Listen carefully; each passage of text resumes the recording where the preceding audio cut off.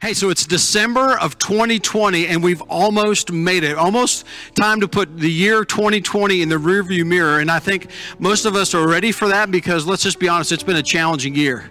Uh, some of us had faced financial hardships due to the circumstances. Some of us have had sickness, and uh, relationships have crashed and burned because of isolation. Some of us have even experienced the, the, the low of, of losing a loved one.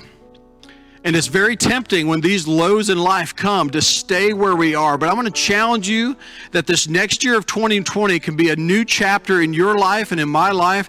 That our God is the God of comebacks. And when He says He can make a comeback in your life, He means it.